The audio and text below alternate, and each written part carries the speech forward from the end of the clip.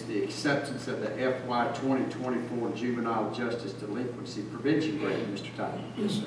You thought you were getting out early. That's right, yeah, I'm gonna leave after this. So, um, as we discussed yesterday morning, this is, um, the third year of the Juvenile Justice Delinquency Prevention Grant. We were awarded fifty thousand dollars in continuation funding, and, uh, we're really just seeking your, um, acceptance of the grant and authorizing the chairman to, um, sign all the grant documents, including a service agreement with Peaceway here in Valdosta to continue providing the service.